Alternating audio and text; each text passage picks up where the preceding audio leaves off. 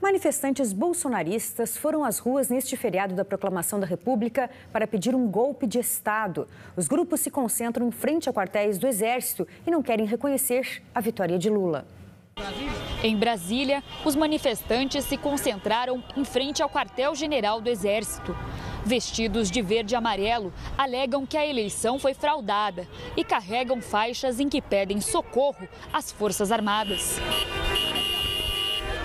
Inclusive cartazes que pedem aos militares que promovam um golpe de Estado, o que é crime. As caravanas bolsonaristas começaram a chegar aqui em Brasília já no início da semana. O grupo engrossou o acampamento perto do quartel do Exército, no setor militar urbano. Por segurança, o governo do Distrito Federal montou um bloqueio que vai desde a rodoviária da cidade até o acesso à esplanada dos ministérios. No feriado, diversas cidades do país registraram manifestações semelhantes. Em São Paulo, se reuniram em frente ao comando do Exército na zona sul da capital.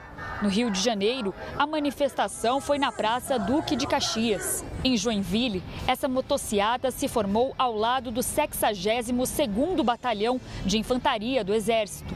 Em Curitiba, bolsonaristas montaram um palco nas proximidades do Forte do Pinheirinho. Forças Armadas, salvem o Brasil!